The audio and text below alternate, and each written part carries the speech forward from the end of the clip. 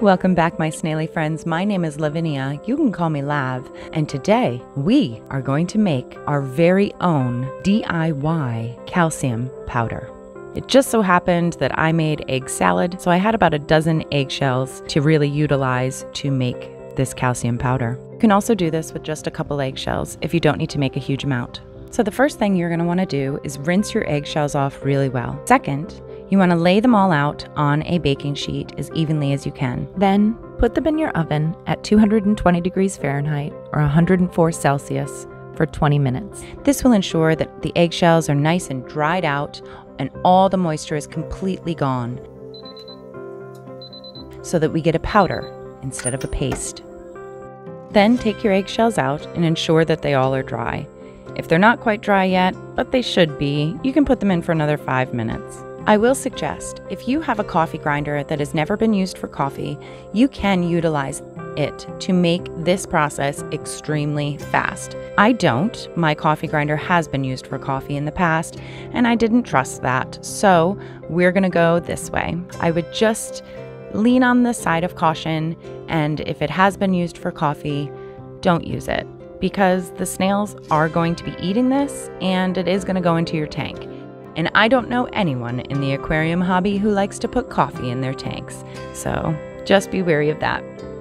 Okay, once we get all the eggshells in there, plug her in and let her rip.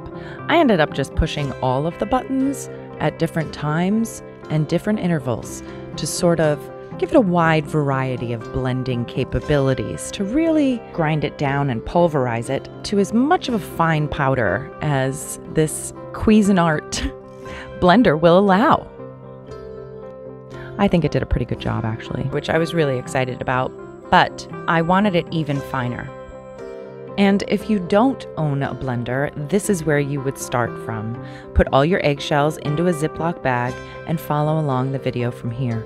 You can see there I just dropped a little bit of the powder into the tank next to me. That's where the Spixies are and a couple of my elder snails. I figured they might enjoy it. So next I took like a pint glass and I just started rolling it on top of the eggshells in a bag. I'm not really sure how much this uh, crushed it additionally. Again, if you don't have a blender and you're starting from square one, putting your eggshells in a bag and rolling it with a rolling pin or a pint glass to begin is a really good start. Then I started going a whole nother method. I really wish I had one of those cool stone pestle and mortar things, but I don't, so I tried to recreate my own with just a glass bowl and a glass that I have here that has a nice flat bottom to it. You can see the consistency of the powder. It is pretty fine, but I want it even finer. So, I decided to start giving myself a mild case of carpal tunnel and really grind this powder down to the best of my ability.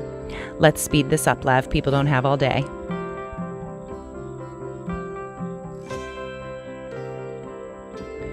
And I'm showing you here that it is getting finer, but I want it even better.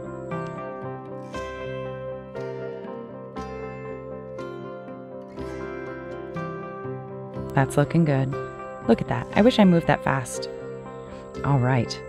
Now, I think that's as good as we're going to get it using the method that I'm doing, and that is perfectly fine.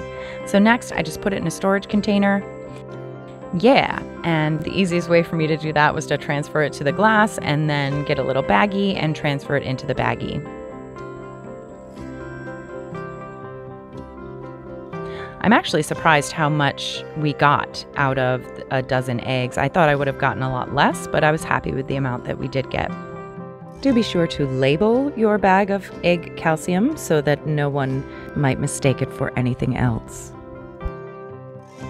If you, if you look really closely, you can see the dust that comes from when I transfer from container to container. I do wish I could have gotten it ground down a little bit finer of a powder, but I think what we ended up with is perfectly wonderful. I think we did the best we could with the tools that we had. And that's pretty much it. This is just a real short video to show you how to make some of your own DIY calcium. If you have eggshells laying around, don't throw them in the trash. Save them, keep them clean, and then when you have enough, you can make your own calcium powder. And here we are. Ta da! Calcium powder out of eggshells. Brilliant. Looks great.